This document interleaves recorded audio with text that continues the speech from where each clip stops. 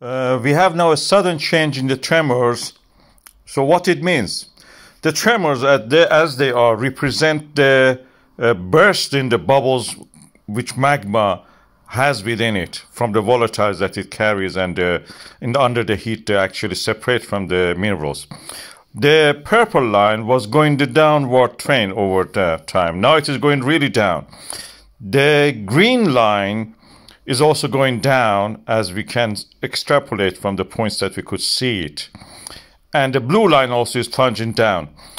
The blue line, uh, which actually means the high frequency uh, burst of bubbles, uh, is decreasing. That means there is uh, there is not fresh supply of the magma. The small ones are created by the burst of the bigger ones, and uh, this practically means there is not enough fresh magma pulling out. It's like that uh, the movement of the blocks of rocks that was uh, VIP Hill and the Rift Valley uh, has now settled as if. The, the source of the magma is actually not coming as fast as it was coming now. The hills have moved as much as they could and they are now settled probably.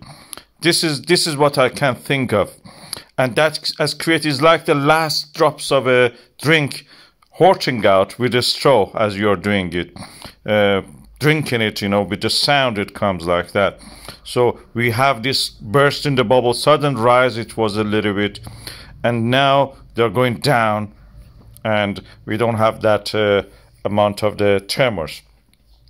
This is what i can think of at the moment um, if we if we have to wait and see, we will see more clearly what's the meaning of these things.